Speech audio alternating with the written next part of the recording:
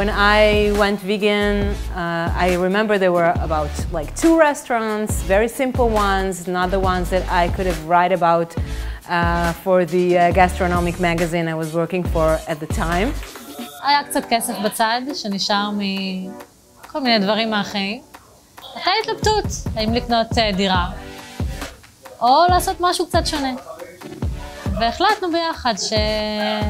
שיהיה נחמד לפתוח מסעדה טבעונית. באותו זמן, חופף לזמן שחשבנו לעשות את הדברים, מסעדת זכאים בעצם למכירה, הוצאה למכירה, והחלטנו שאנחנו הולכים על הצעד הזה. זה התחבר נכון, זה התאים. First of all, I opened Open in Israel because I believe that the soil here uh, grow the best vegetables. And I really like the culture of Tel Aviv. It's free, it's yet down to earth. And I like the vibe, I like living here. It's probably one of my favorite cities in the world. In 2014, about two years after I came here, uh, as, as, far as veganism, there was this huge explosion, uh, this one speech. Today we're going to talk about the world's forgotten victims, animals and the world's oldest and strongest addiction, meat.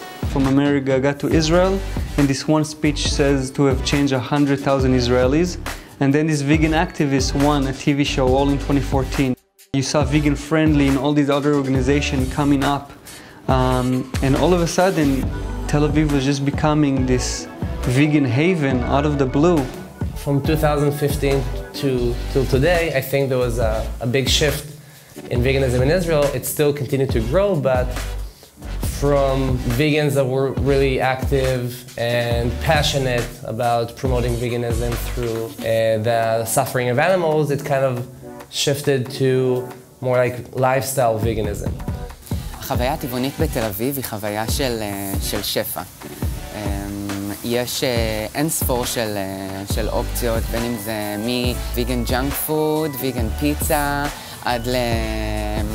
Anastasia. Coming to Tel Aviv today as a vegan, it's full of surprises and I think the best thing is that that veganism is so accessible. The fact that you don't need to look for vegan options or look for a vegan restaurant, that everywhere, anywhere you, anywhere you enter, you have uh, vegan food and of course you always have falafel and hummus, but beside of that you have so much great vegan Tel Aviv and Israeli food wherever you go. There's something about Tel Aviv that drew me, the, the simplicity of the people and the warmth and the fact that it's not a, it's like an up and coming city that people talk about, but yet not have yet discovered. It's not like, you know, going to Barcelona that it's only um, tourists. So I think it's like a culinary pearl waiting to be discovered and hopefully it will be Got the best smoothies, the freshest produce, some of the best vegan restaurants in the whole world. And the culinary level in Tel Aviv is like generally so high and it didn't change with the veganism, like they just took it to another level.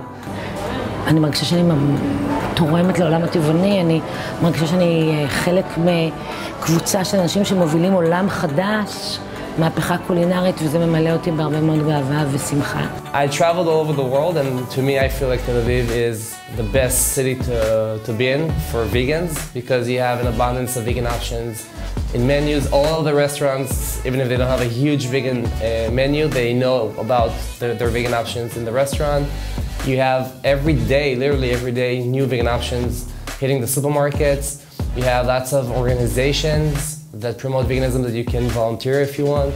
You have the biggest animal rights march in history that was in Tel Aviv, the biggest vegan festival in Tel Aviv.